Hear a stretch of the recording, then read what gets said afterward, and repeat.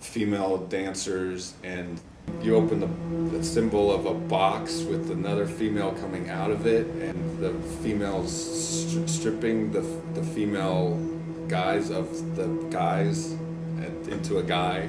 I, we decided to keep the beard on and just cake on Right, the right. makeup and kind of cover that up a little bit with the fan walking in. So there's this guy wearing a dress that's already in the forefront. And becoming more primal and turning into like stripping off the femininity in a way instead of being okay putting that on, which I think a lot of my work deals with is okay getting in touch with that or exploring that. This was the opposite. This was stripping it away um, Oh. and just getting to the core of something else, like Yeah. like with the drum beat, the heart heartbeat, or the primal Right, right. conjuring. You guys into a That's guy? Deep Yeah. shit. the Caligari more connects with the ideas of the performance because that started as a visual thing.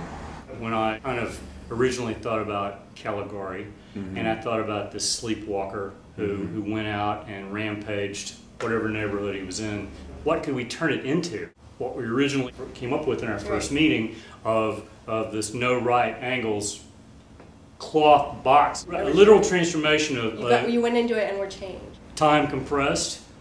We started later than we thought. What do we got? Right. The idea of the cabinet transformed into something from something that someone went through and was changed to something that somebody something came out of and therefore everyone was changed. Or to transform something has to be exercised. Or a spell had to be concocted to release a demon.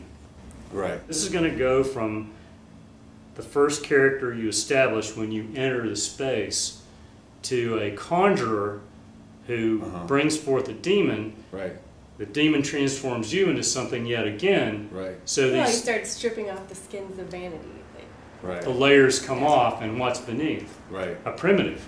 We kind of worked over the narrative of this to try and figure out how are we going to boil this down.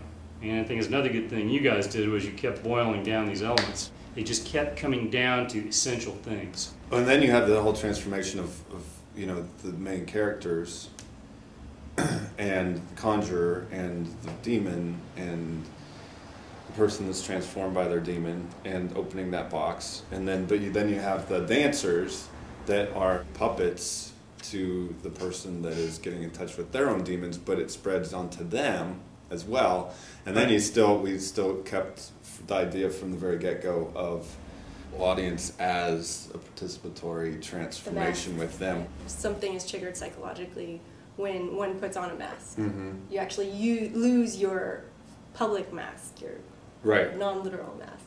right It's ridiculous. But it does. It makes you lose self-consciousness. It helps to, the, you know, the idea is we wanted the audience to kind of participate as well.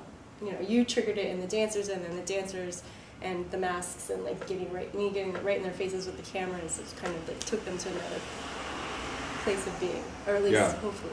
And it's weird idea. kind of ironically you put something on that um, actually To let else go. Yeah. something from yourself yeah so you, i don't know in some way you're, you're hiding something masking something